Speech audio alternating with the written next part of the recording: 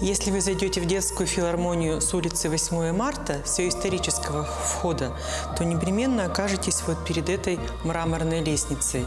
Ей почти сто лет.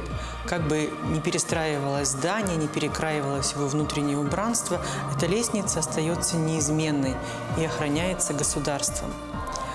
Аж дух захватывает, когда представляешь, сколько детских ножек за 30 лет, что живет детская филармония в этом здании, пробежала по этой лестнице. А какие художники, поэты, писатели, политические деятели ходили по ней. Доподлинно известно, что именно с этой лестницы читал свои стихи известный пролетарский поэт Демьян Бедный в начале века. По этой лестнице ходил на работу в крестьянскую газету писатель Павел Петрович Бажов. И именно по этой лестнице в 1954 году вел свою молодую жену к свадебному столу выпускник УПИ Борис Ельцин. Да, свадьба первого президента Российской Федерации Бориса Николаевича Ельцина состоялась именно в этом здании.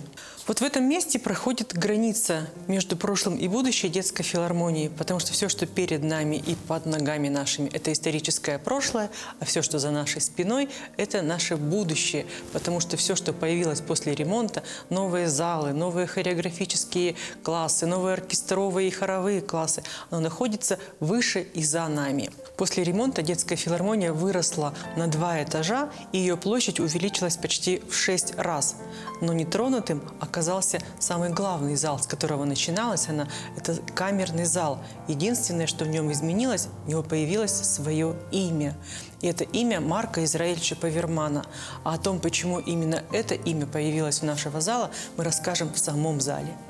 И именно в этом зале происходит самая первая встреча с музыкой очень маленьких, даже не маленьких, крохотных детей, подчас которые даже еще не родились, а находятся у мамы под сердцем. Сюда будущие родители приходят на концерты в ожидании чуда и слушают музыку, которая полезна им и будущему ребеночку. А когда он родился, папа с мамой могут прийти уже на бэби-концерт и послушать классическую музыку в живом исполнении – а уже подросший ребеночек, когда ему станет год или полтора, приходит сюда на концерт в ползунках.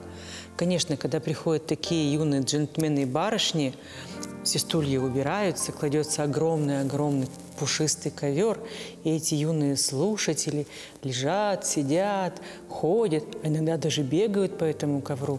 А в это время звучит рояль, флейта, скрипка или аккордеон – а когда наступает Новый год, здесь появляется красивая-красивая елка. На окнах появляются морозные узоры, хрустальная люстра превращается в переливающиеся льдинки – и начинается волшебное-волшебное представление. Камерное представление для маленьких детей начинается здесь буквально с одного года. Это самое волшебное новогоднее представление в Екатеринбурге. Зал носит имя Марка Израильевича Павермана. Именных залов в Екатеринбурге немного.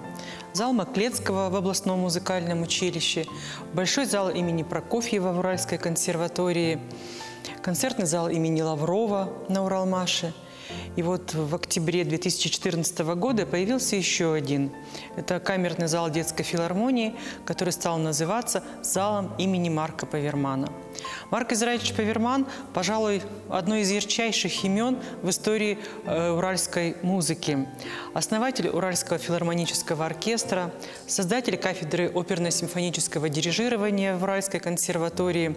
И также именно Марк Израильевич создал первый детский юношеский камерный оркестр. Он всегда воспитывал не только студентов, не только своих юных музыкантов, молодых коллег, но и воспитывал зрителей, слушателей, которые до сих пор вспоминают его с благодарностью. А еще, еще он считал очень важным, что нужно поддерживать молодые таланты. И, может быть, именно поэтому Попечительский совет детской филармонии в 2015 году учредил специальную премию имени Марка Павермана, поддерживающую особо отличившихся детей детской филармонии.